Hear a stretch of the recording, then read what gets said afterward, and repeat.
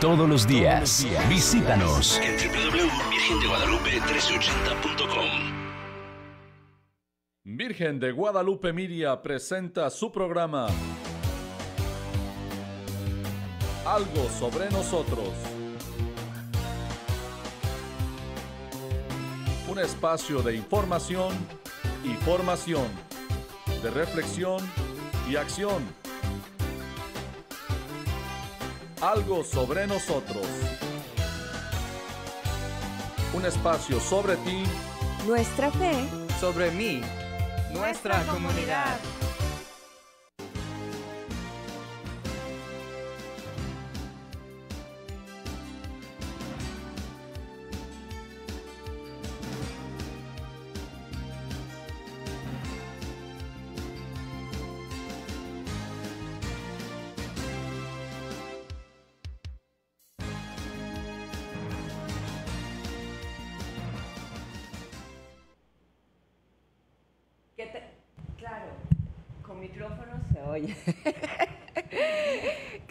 amigos? ¿Cómo están? Muy buenos días. Qué gusto saludarles y darles la bienvenida. ¿Cómo están en este día? Espero que estén ustedes muy bien. Le estaba yo diciendo a Héctor, es viernes, me encantan los viernes porque nos lleva, por supuesto, al fin de semana, ¿verdad? Y el sábado hay muchas cosas por hacer. Hay muchas cosas por hacer. Bueno, eh, primeramente quiero también, antes de iniciar el programa, saludar a aquellos hermanitos que nos escuchan por la aplicación. ¿Cómo están? Alguien me encantaría que nos hablara desde la aplicación. Segundo, quisiera pedir disculpas a aquellos que no nos están escuchando ahorita porque eh, sabemos que hay un elemento del transmisor que está dañado y por eso no, no nos escuchan como antes nos escuchaban en radio. Pero mm, muchas gracias por ello. Ya se mandó a arreglar, lo estamos esperando. En cuanto llegue estos componentes, pues primeramente Dios estarán ustedes en la misma transmisión. Te ruego de verdad no olvides esta estación. Eh, te ruego de verdad, puedes bajar la aplicación, no solo nos vas a escuchar desde donde quiera que tú estás, sino también fuera del país. Puedes estar en Japón, en México, en Israel y, estarnos escuchando. Entonces, bajen la aplicación Virgen de Guadalupe Radio, es de color verde de color verde y nos escuchan y, pronto vamos a tener, por cierto, para nuestros fieles seguidores a través de la aplicación sorpresas, porque eh, y si tienen alguna ah, inconveniente avísenos porque todo lo que ustedes nos dicen nosotros lo mandamos al técnico, lo mandamos y hay veces que no nos damos cuenta excepto cuando nos dice la gente, oye, fíjate que ya no se oye, caray, pero ¿por qué? Entonces le mandamos al técnico la observación. Ayer estuvo Adrián y Héctor, ayer en estos días pasados, en contacto con ellos, precisamente gracias a los reportes que ustedes nos dan y también al programador de la aplicación, gracias a los reportes que ustedes nos dan.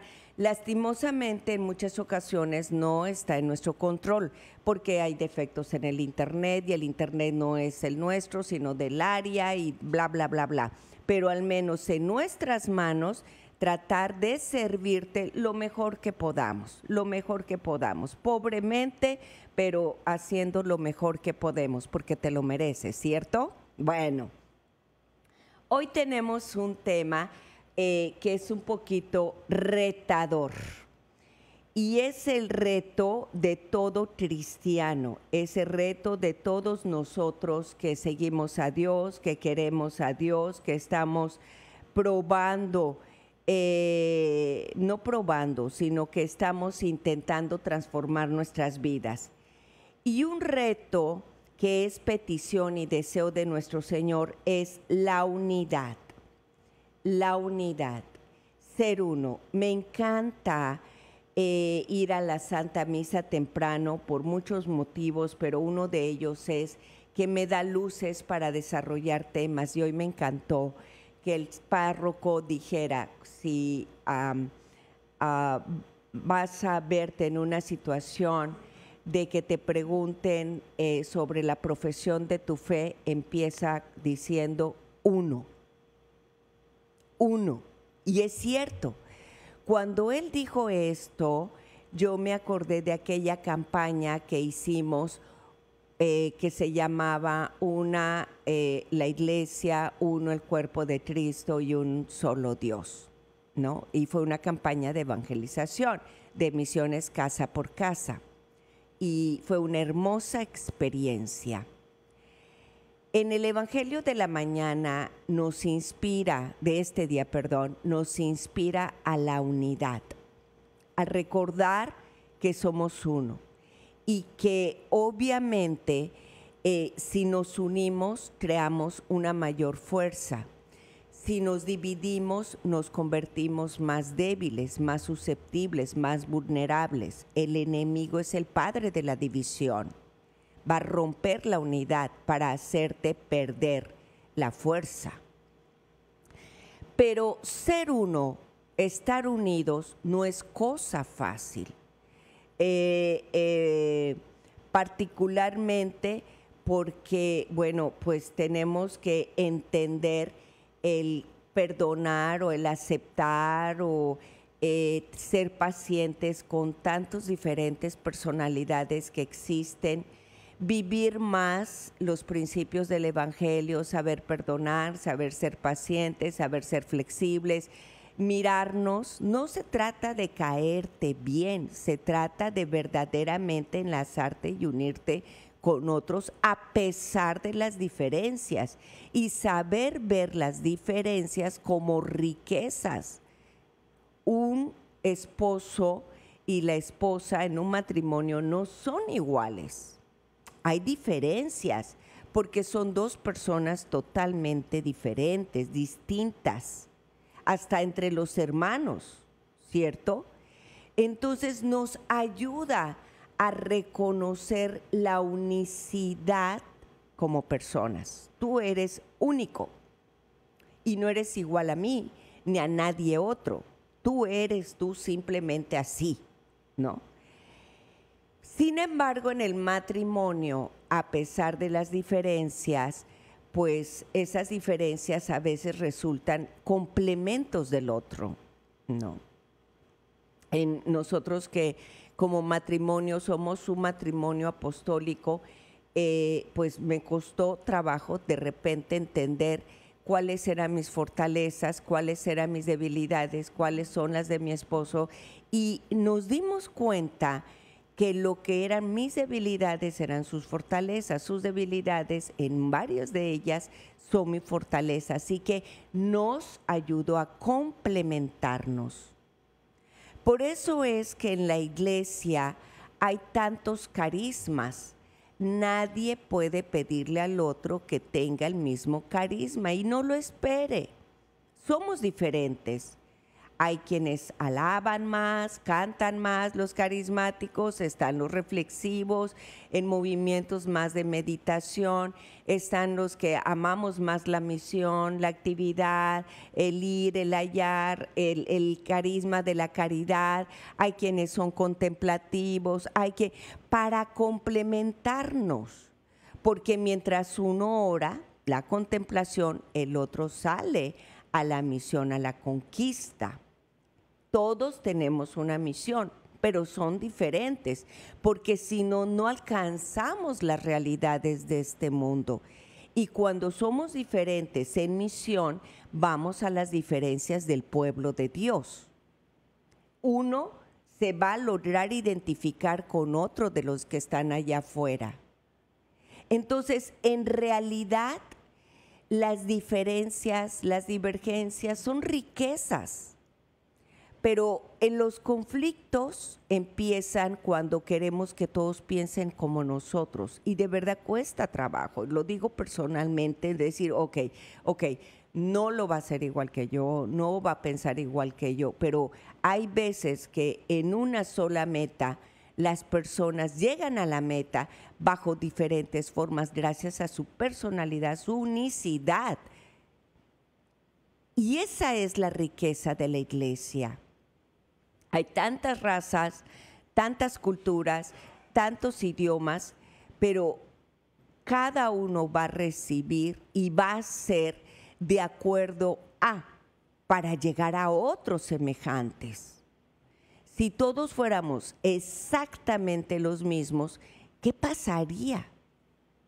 ¿No? ¿Qué pasaría? No tendríamos quizás retos o todo sería lo mismo, no sé, sería monótono, sería difícil también. Pero gracias a Dios que tenemos esa unidad. Los que me están escuchando, por la radio, ya estamos en una transmisión y además la imagen ya está más bonita. Para que entres a las redes sociales, busca Virgen de Guadalupe Foundation o busca, por favor, la aplicación Virgen de Guadalupe Radio. Ah, es verde completamente. Miren, va a aparecer así. Así, esto chiquitito, ¿lo ven? Lo voy a acercar a la cámara a ver si se ve eso chiquitito verde, así aparece la aplicación Virgen de, ah, miren, sí se ve, Virgen de Guadalupe, así aparece, toda verde. Porque luego me preguntan, oye, ¿es Virgen Radio? No, no, no, no, no. Y Adrián se enoja, se pone celoso. Oh, no. Bien. La unidad o uno tiene un principio evangélico. Es una gran virtud, es una gran virtud y en sí misma implica un estado de neutralidad. Aprender a ser objetivos en determinadas circunstancias y no vivir en nuestra subjetividad. ¿Qué quiere decir? Lo que yo siento, lo que yo creo, lo que yo no, aprender a ver las cosas desde afuera, ¿no? Pero dentro de esa es neutral hasta que se le da un carácter de bondad o un carácter en la maldad, que es parte de lo que nos dice el Evangelio esta mañana. Por ejemplo, si Herodes y Pilato se unifican en el desprecio que sentían por nuestro Señor Jesucristo, que está en el Evangelio de San Lucas, en el capítulo 23, eh, versículo 12, entonces esta, no, esta es una unidad, sí, pero no de bondad, no de construcción, sino una unidad en un mal. Querían destruir a nuestro Señor Jesucristo. Esto es importante y aquí voy a hacer un paréntesis porque te quiero dar una noticia. Ojo, abre los oídos. El enemigo no actúa solo, le encanta llevarse un aliado. Es muy frecuente, por ejemplo, que aquel adicto jale a alguien más. Necesita un aliado. El chismoso necesita un aliado. ¿Verdad, hermanita, que te dije, que me dijo que esto, que el otro? tengan mucho cuidado, porque si tú a la rumorología, oye lo que estoy diciendo, rumorología, le sigues el juego, caes. Si eso no es para ti, a lo mejor esa persona lo quiere decir, escúchalo, ni una palabra más, porque te va, te, va a llevar. ¿No? Entonces, generalmente el que actúa tras bambalinas, el que va a ir metiendo divisiones, se va a ir haciendo aliados para ir metiendo divisiones. Entonces, por un lado, se presenta como una buena gente, ay, qué linda, qué amorosa, y atrás después empieza a decir, mira, ¿ya viste que no hizo eso? Ay, pues sí, pero como la otra ya le vio la cara buena, le cree y entonces empieza a caer en comentarios. ¿Cómo se presenta esto? Vemos el capítulo 3 del libro de Génesis. El enemigo no le dice, mira, allá hay una manzana, hay un fruto podrido para que comas, ¿no? ¿Verdad? Le presenta algo lindo. La convence a Eva y luego Eva Adán. Me explico, es el juego de la división. Mucho cuidado. Primero se presenta como algo lindo, buena gente, ay, que so cute, ¿verdad? Pero atrás empieza a generar movimientos negativos. Por eso nuestro Señor siempre nos dice, estar vigilantes, estar alertas. Duérmete un segundo, porque el lobo feroz no duerme. No duerme. No han podido estar en vela ni una hora, dice nuestro Señor. Y hablamos de quien se duerme, pero te duermes en conciencia, te duermes en la oración y no literal. A rato te dicen algo contrario y dices, sí, sí, ahí vas. Y ya te llevó, ya te llevó. Pero vamos al ejemplo contrario. Si San Pablo y Silas cantan juntos en la cárcel por causa de Cristo, es una unidad, pero una unidad de amor, fraterna, constructiva, buena. ¿Me explico? Hechos de los Apóstoles, capítulo 16, versículo 25. Estoy buscando la Biblia. Bueno, nunca es suficiente llamar a los cristianos a la unidad, pero a la buena unidad. ¿Qué hace la unidad? en los testamentos. Dije que era un principio del Evangelio. Ay, Héctor, no seas malito. Por ahí ves las Sagradas Escrituras. Si tú me las mueven, las dejo aquí. No seas malito, de favor. Porque ¿cómo vamos a venir sin las Sagradas Escrituras? Pero te prometo que lo dejo aquí. Entonces, a todo esto, también en los Evangelios nuestro Señor nos dice, somos es el cuerpo de Cristo, ¿cierto? Uno es el dedo, uno es el, el cuerpo. No necesitamos. Es lindo estar acompañados. Gracias, gracias, joven, gracias. Vamos a ver Efesios. Si alguien me ayuda a ir anotando, como siempre les pido. Efesios 4 capítulo 4, aquí está, en el versículo 3, capítulo 4, por es, ah, no, este es capítulo 3, capítulo 4, dice así, mm, procuren mantenerse siempre unidos con la ayuda del Espíritu Santo. Me cuesta trabajo porque la hermanita no me cae bien. Ay, mira, la otra, bla, bla, bla, o la otra, bla, bla, bla, o petraca, pero lo que quieras. Pide la ayuda al Espíritu Santo. Es que nosotros como cristianos debiéramos estar con el Espíritu Santo en la punta de la lengua, porque tenemos una tendencia al mal por el pecado original claro. San Pablo dice, ah, eh, o sea, ¿qué quiere Dios de ti? Abre las Sagradas Escrituras que más directo no se puede encontrar. Aquí lo dice. Sean humildes y amables, tengan paciencia y soportense unos a otros con amor. Procuren mantenerse siempre unidos con ayuda del Espíritu Santo y por medio de la paz que ya los une. Hay un solo cuerpo, un solo espíritu, así como Dios los ha llamado, una sola esperanza. Hay un Señor, una fe, un bautismo. Hay un Dios y Padre de todos que está sobre todos, que actúa por medio de todos y está en todos. Con esto es suficiente. Efesios capítulo 4 que está dedicado justo a la unidad unidos en el Espíritu Santo. Si se debilitan, el lobo feroz se los va a comer.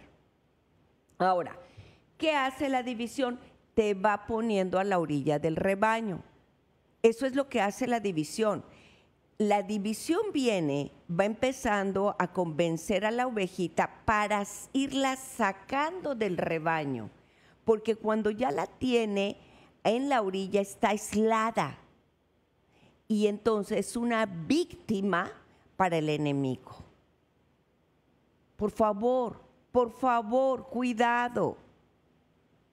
Por supuesto que se tiene que meter entre la iglesia, porque ¿cómo nos va a separar? Se tiene que meter entre el rebaño con vestidura de oveja para podernos engañar, padre de la mentira, y entonces alejarnos, padre de la confusión, separarnos, padre de la división, para comerse a las ovejitas. Ayer estaba yo viendo una película, no sé si ustedes conozcan el término, ay Dios, ya se me olvidó, ¿cuál era? mistropía, misantropía. Bueno, las personas con este pensamiento misantrópico son personas negativas, personas que rechazan de, de alguna manera a la raza humana, o sea, están criticando todo. Entonces, esta es una pareja, un hombre y una mujer, que se encuentran, pero los dos tienen este pensamiento. Y yo lo que estaba siguiendo de esta película era el diálogo que tienen en toda la película porque obviamente se trata de eso. Entonces, iban a una boda, pero es risible, porque todo un diálogo de crítica, de cosas negativas, palabras, hasta de, bueno, un nivel, o sea, pero así se dedican, y al final se enamoran ellos, ¿no? Pero cuando están en ese proceso, una dice, oye, eh, es pensando en el matrimonio, no, matrimonio, ¿cómo? O sea, no, ¿y te gustan los hijos? No, para nada, o sea, todo es así. Están en la boda, oye, mira, y, esa persona, no, hombre, mira, y se casó con la otra, oye, casarte con uno más, y casarte con otro, oye, oye, y mira el otro, y, y así se la pasan. No, ese es el pensamiento misantrópico. Bueno, es risible, me fui a esto por el hecho de que Así son. Y además el Señor dice, los lobos vestidos de ovejas. O sea, el Señor te está advirtiendo, te está diciendo. Y todavía cierre te dice, estén vigilantes, no te duermas. Bueno, en el Nuevo Testamento, la palabra unidad recibe toda su bondad recibe las, metas nuevas, los afectos, las ideas, los objetivos. San Pablo en este capítulo nos lo está diciendo. El Espíritu Santo es el gran dador de la unidad. Recuerden, pondré enemistad entre tú y él. No hay amistad entre el bueno y el malo. Aquí no hay un punto neutro. No hay algo en lo que puedan parecerse. Pues por un mismo espíritu todos fuimos bautizados en un solo cuerpo, ya judíos, griegos, esclavos, libres, a todos se nos dio a beber del mismo espíritu. Primera de Corintios capítulo 12, versículo 13. Uno es el espíritu que nos llama. El otro día estaba en el parque y me encontré, estaba yo observando a una señora muy amable, muy amable, que iba con su nietecita y asumí, iba con una señora más joven embarazada y luego una niña, ¿no? Entonces yo asumí que iba con la nietecita y que la mamá era la joven embarazada. Y en algún punto, después de observarlo un rato, eh, en algún punto nos encontramos, o sea, nos saludamos. Y ella inició el diálogo. Señor, ¿cómo está usted? Ah, que mire, qué bonito día, que esto. ¿Y cómo se llama? No, pues Lori, que, ay, sí, bendito Dios. Y, y de repente, con una charla tan, tan linda, tan amable, tan abierta, me platicó que era de Ecuador, este, vive en Nueva York, estaba visitando a su hija embarazada, ya se regresaba, estaban paseando a la nieta, etcétera, etcétera. Y no sé cómo, inmediatamente la pescadora lanza la red, ¿no? Les empiezo a invitar a nuestras devociones de las 3 y las 4 de la tarde y me dice, mire, muchísimas gracias. Este, mm, yo creo en la Virgen como madre. Eh, es nuestra madre, ¿verdad? Y sí es la madre de Dios, pero la verdad es que yo soy cristiana. Oh, pues ok. Qué bueno, mucho gusto. Y seguimos platicando.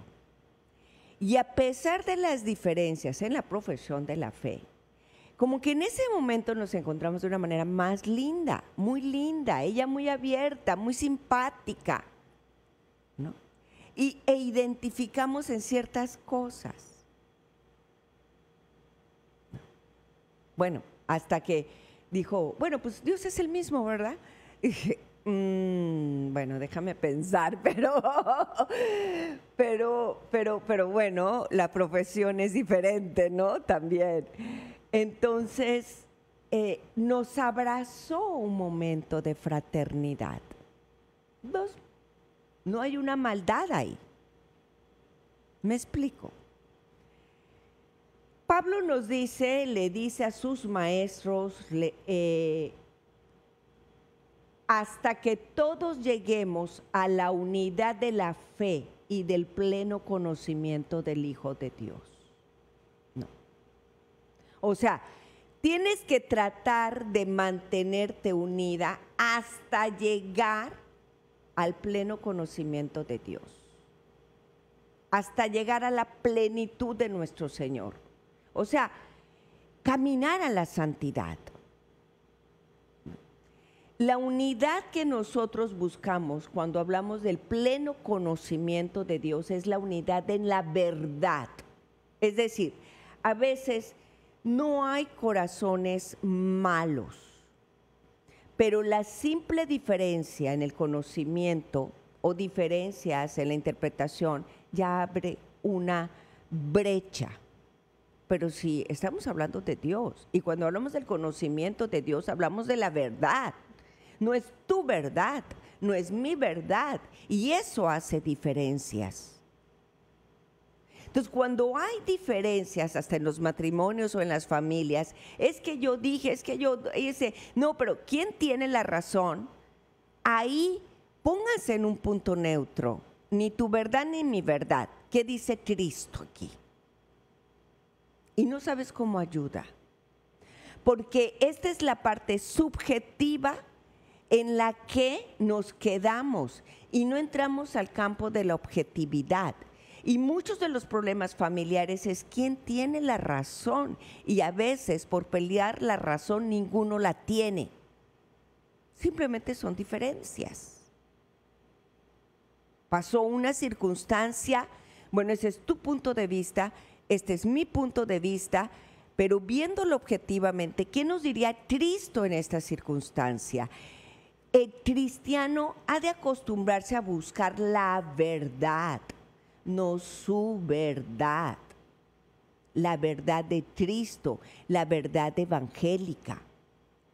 No, es lo que nos está invitando y recordando San Pablo en estas líneas. Por tanto, la verdad de Cristo es más que una verdad compartida Vamos a Filipenses 2.2. A ver, muchachitos guapos, ¿quién me va a ayudar para la próxima? Filipenses, ay, ya lo había yo pasado.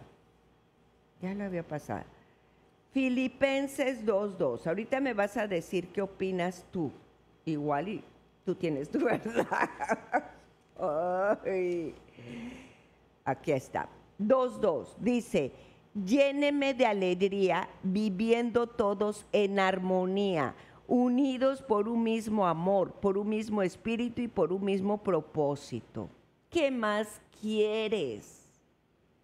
La unidad es la alegría de Dios, como sería para una madre la alegría de ver a sus hijos unidos, ¿cierto?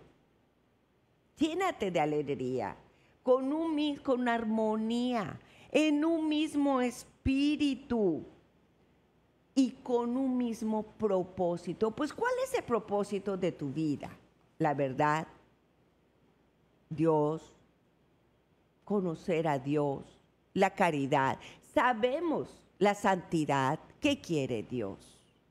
Entonces, cuando estés ahí, entre los hermanitos, entre la comunidad, que ya me gustó, que no me gustó, alto, ¡ey! ¡Alto! A ver, respiren profundo y recuerden, pero espérame, somos el cuerpo de Cristo. No podemos fragmentarlo. Si tú te enojas, le estás quitando un brazo. Si yo me enojo, le quito el otro brazo. A ver, momento. Vamos a poner a Cristo en medio de esto. Vamos a sentarnos. Vamos a invocar al Espíritu Santo que nos dé la luz para poder unirnos. Siempre alguien o ambos tendrán que llevar quizás a la reconciliación, al perdón, al ser flexible, adaptarse. No lo sé hay un movimiento dentro de ti, pero ese movimiento que exige la unidad es un movimiento nuevo que te lleva a la transformación y a la madurez. El problema es cuando se quieren quedar consigo mismos y entonces están como los niños, esto es mío, esto es mío, esto es mío. Mía es el grupo, mía es la amiga, mía es la comadre, mía es el hijo, hasta con la relación de papás, ¿no? Tú no lo regañes, yo sí porque yo soy la madre. Ay, ¿el otro qué? Pero de verdad, suele suceder que a las madres le crean unos instintos tal de propiedad que no admite que sus hijos sean regañados por nadie, solo ella, aunque sea la que peor les hable. Es cierto. Es cierto. Es que esta es mi comunidad, este es mi grupo, esta es mi parroquia, este es mi párroco, este es mi diácono. Ay. Entonces, si tú te encuentras a alguien que habla así sencillo, te voy a dar la respuesta. Dile, ah, pues sí, quédate con todo, porque este Dios es mi Dios. Fácil, vete con Dios. Pero no ese es el punto. ¿Verdad que no? Bueno, todo para que sea conforme a Cristo y que ese Dios de la paciencia les conceda el mismo sentir los unos para con los otros conforme nuestro Señor Jesucristo. Romanos 15, 5 San Pablo cuánto luchó. ¿Por qué? Porque cuando San Pablo iba recorriendo todas estas áreas, Corintios, Efesio, todos estos lugares, él se dio cuenta de lo que pasaba. La idolatría, eh, los que se empezaban a pelear entre los primeros cristianos y los que no lo eran, empezó, por supuesto que empezó a ver la división. Por eso San Pablo lo expresa, lo escribe, lo incluye en sus cartas e instrucciones como testamento fiel. Y, qué decirte de nuestro Señor, Padre, que sean uno como tú y yo somos uno. ¿No te pesan esas palabras? ¿No te pesan? Bueno, vamos a saludar un poco y luego vamos a hablar un poquito de la unidad y los afectos. Torres Marí, Morning, María Guadalupe Casas, gracias. Marta Vázquez, Betita Chula, Letita, buenos días. Teresito Olvera, somos diferentes, nos complementamos como un rompecabezas y necesitamos los unos de los otros. Amén. Amén, Teresita. Luz Coronado, anda usted, a lo mejor eres mi prima y no lo sé.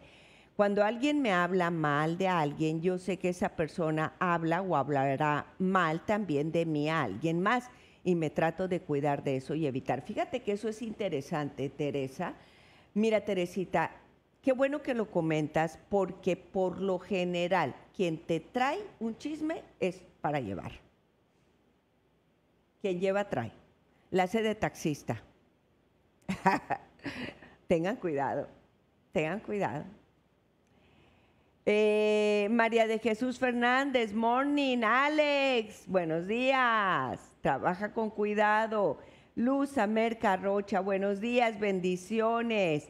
María Hernández, Chula, nos vemos mañana.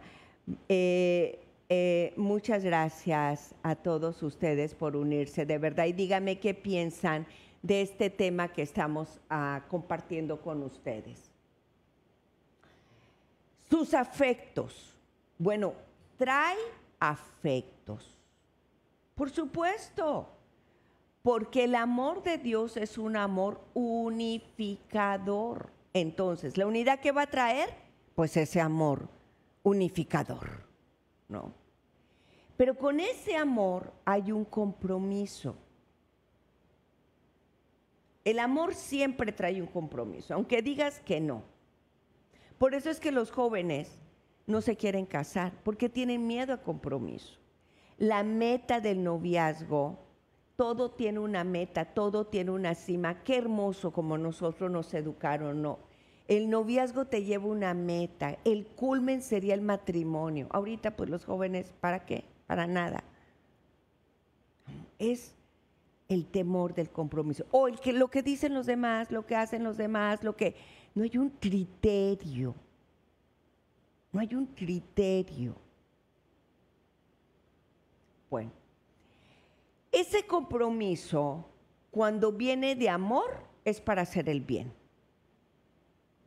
Cuando viene de amor, es para hacer el bien. El amor a tu matrimonio, a tu pareja, a tu esposo, a tu esposa, el amor a tu familia, el amor a tu comunidad, el amor a tu parroquia, el amor a... Eh, es para hacer el bien, lo quieras o no. Vamos a ver Gálatas, la carta Gálatas, capítulo 6, versículo 10. A ver, ¿qué dice? Gálatas, capítulo 6, versículo 10. Vamos a ver, dice, versículo 9, por eso, siempre que podamos, hagamos bien a todos, especialmente a nuestros hermanos en la fe. Caridad, caridad. Hablando de caridad, Alexito, si nos estás escuchando, hoy tenemos cita con Mayela, ¿eh? Gracias, gracias hijo, por preocuparte. Hoy, hoy vamos a platicar con ella. Caridad, ¿qué te cuesta? Pero somos tan celosos. Somos tan celosos. Bueno. Este. La experiencia incluye ese amor afectuoso, ese compromiso por amor que nos lleva a la fraternidad, pero también nos puede llevar a ciertos sacrificios, ¿no? Pero también nos puede llevar a esos sentimientos de cariño, tener ese afecto, como lo tenemos en la familia los 365 días, ¿ya ven? Ya no es el grupo, el ministerio, es la familia. Nos vamos conociendo, nos vamos saludando, nos vamos preocupando los unos por los otros. Un amor bueno, que genera bondad, y tenemos con nuestras diferencias que aceptarnos e ir haciendo que se expanda la mejor parte de nosotros mismos. ¿Escucharon? Lo que se crezca, lo que fluya, lo que reine es la mejor parte de nosotros mismos. Para que siempre esa parte buena esté fluyendo y nos lleve a una experiencia de armonía, de fe, de gozo. Me siento tan bien aquí. Soy querida. Es ese cariño que empieza a expandirse. Bueno, así como se ven los micrófonos, ¿no? Y cuando este cariño se empieza a expandir en esas áreas, ¿qué va pasando? La parte mala que existe en nosotros la va alejando eso va siendo una selección natural, porque el enemigo no tolera el amor. no tolera la unidad, no tolera la alegría, no tolera la caridad, no tolera el silencio. ¿Qué? Así es. ¿Por qué crees tú?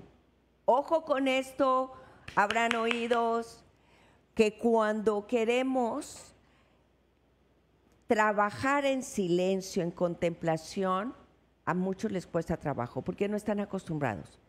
Y luego empiezan a decir, ay, es que tengo como mucho ruido adentro, se me vienen muchos pensamientos, o me empiezo a inquietar, no sé por qué. claro, porque en el silencio sí trabaja Dios. Entonces el enemigo te quiere perturbar. Sabe lo que va a hacer Dios en ti. Ah, ¿verdad? ¿Se sabían eso? ¿Se sabían eso? No trabaja Dios. Es un ruido, ruido superficial, vago, a veces negativo, a veces vulgar, dependiendo de cada quien. ¿Se dan cuenta por qué es tan importante?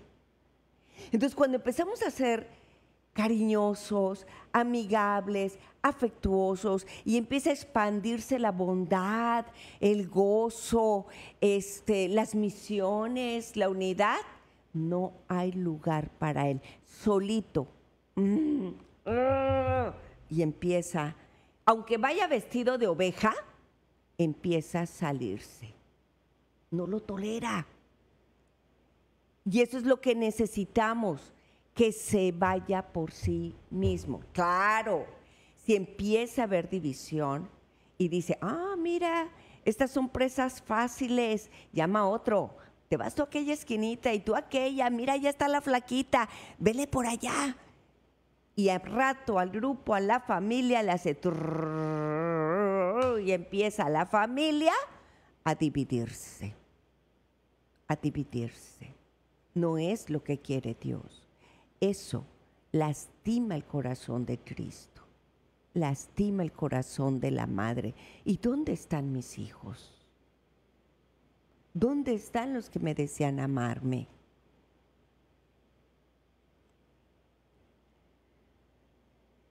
Romanos 12, versículo 10. Romanos 12, yo no veo que anoten. ¿eh?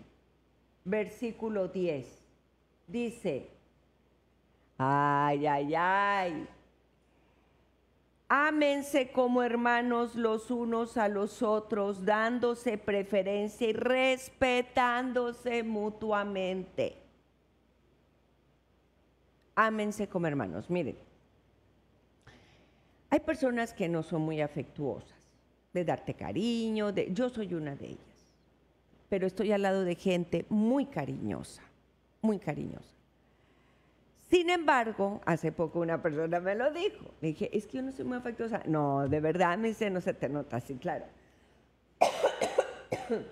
Pero mi cariño es siendo respetuosa, por ejemplo. ¿No? Que yo creo que no es una, una expresión de cariño, es un deber respetarnos respetarnos. Y soy muy paciente. E incluso con quien me es, es con quien es irrespetuoso conmigo mismo. Eso es una manera para mí de mostrar mi cariño. Soy paciente. Me hablan mal una, dos, tres veces. Claro, cuatro, cinco, no. ¿Verdad? Y ser paciente. A ver, vamos a intentarlo por este lado. A ver, vamos a hablarle por este otro lado. Entonces, soy paciente una, dos veces, tres. Perdón, para ganar esas almas. Para que esa ovejita se dé cuenta. Porque hay veces no se da cuenta. Hay que dar oportunidades. Más de una vez, por ejemplo, vienen y me dicen, Gloria, porque esa persona no, mira, es que no, no sabes, no nos va a traer.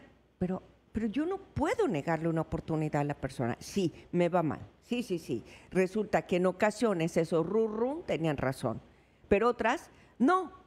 Por eso es que yo no siempre los escucho, porque además no me gustan los run run, excepto el del carro, el del tren, el del avión, eso sí me encantan.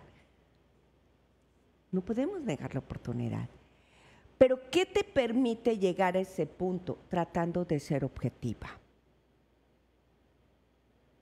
De lo contrario, no puedes hacer esto, porque siendo subjetivo, te envuelves en la circunstancia. Ay, hablando de cariño, ¿ya ven? ¿Qué les dije? Estoy rodeada de gente que me quiere. Miren qué hermosa. Me trajo mi agua porque me oyeron toser. Ay. A salud de todos ustedes. Muchas gracias. Entonces hay que ser pacientes. Esa es mi manera de querer.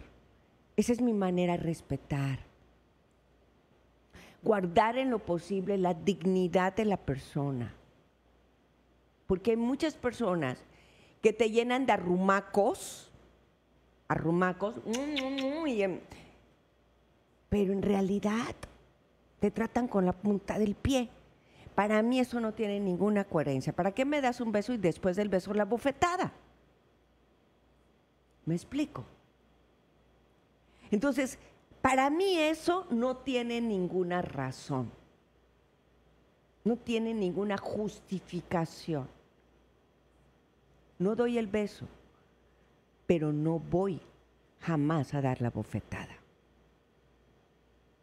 ¿Me explico? Entonces, la unidad implica también afecto, afecto. Vamos a Romanos 12, dijimos 10. Ya lo leímos. Ámense como hermanos. Así ah, ya lo leímos. De preferencia respetándose mutuamente.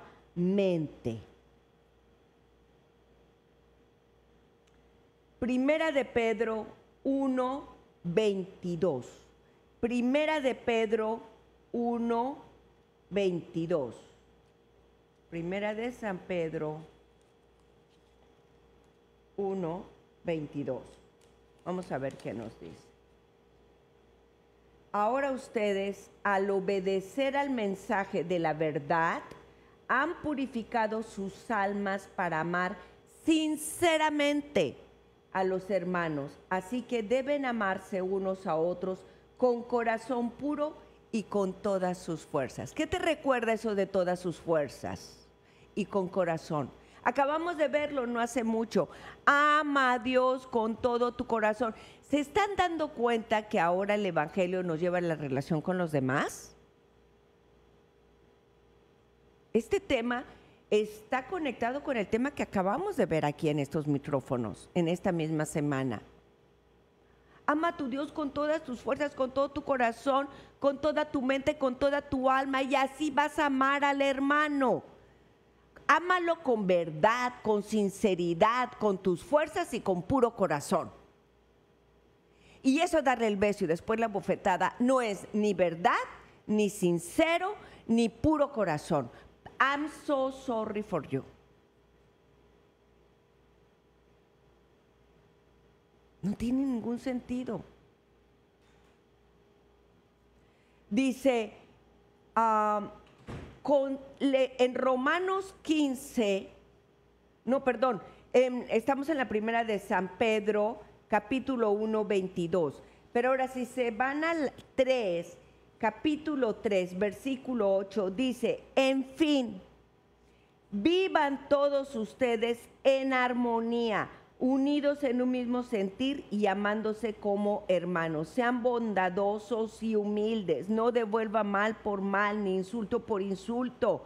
Al contrario, devuelvan la bendición, pues Dios los ha llamado a recibir bendición. Porque quien quiera amar la vida y pasar días felices, cuide su lengua de hablar mal y sus labios de decir mentiras. Aléjense del mal y hagan el bien. Buscan la paz, síganla, porque el Señor cuida a los justos y presta oídos a sus oraciones, pero está en contra de los malhechores. ¿Qué más quieres? ¿Qué más claro? ¿No, verdad? Primera de San Pedro, capítulo 3. Aunque es el versículo 8, yo lo leí hasta el 12. ¿Qué quiere Dios? Quiere que estés unida, que seas paciente, la relación fraternal, buscar la paz, la alegría, buscar la unidad. Todas estas citas son citas de unidad. Es un principio de Dios, es un principio evangélico. Bien, hola Luisita, buenos días.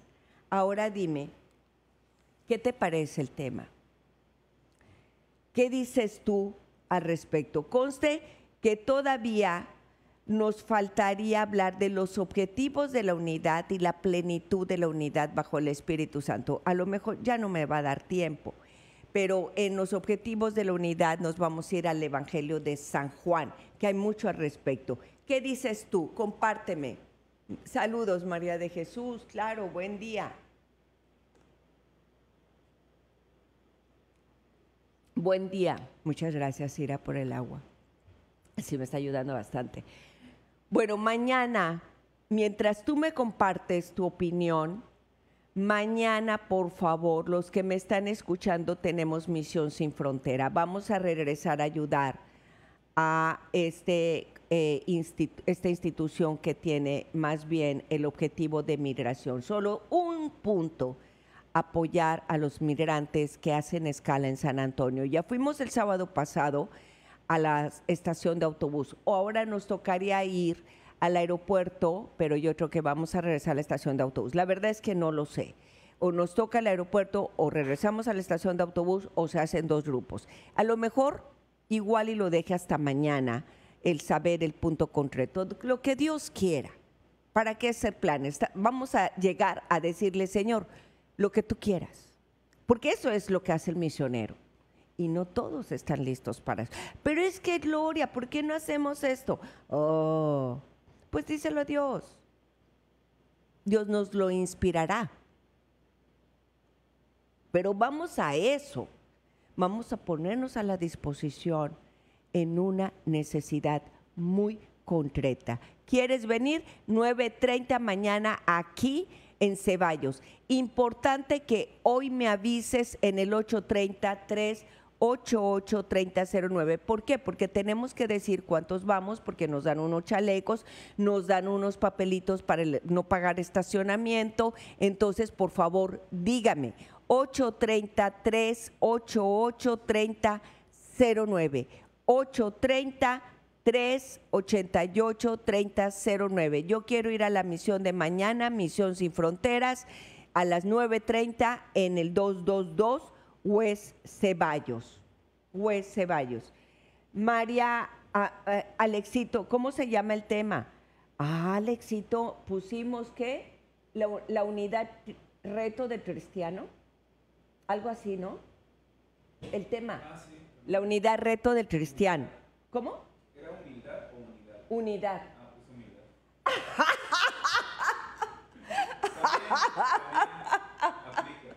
Ya sé por qué Alex está preguntando. Dice que ahorita se dio cuenta que puso humildad. Por eso lo preguntabas, Alex.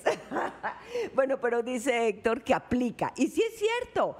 De hecho, acabamos de leer en la palabra de Dios, sean humildes. Porque no se puede compartir con otro si quieres imponer. Quizás esa sea tu orgullo y tu soberbia. Hay que ir con humildad. Hermanos, agacharse. Y eso es lo que más me gusta y yo no puedo olvidar de Israel.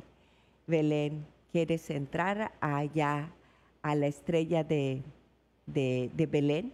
Tienes que agacharte. Tienes que agacharte. Gracias, Alex. Gracias. Oye, mañana te doy este aquí las cositas y no sé si hoy toca eh, eh, conferencia con, con nuestro amigo Pete. Me dijo que iba a invitar a otro caballero es para avisarles a todos, para avisarles a todos cómo se llama el tema. Muy bien. Bueno, los espero mañana. Entonces, eh, cierro con esto.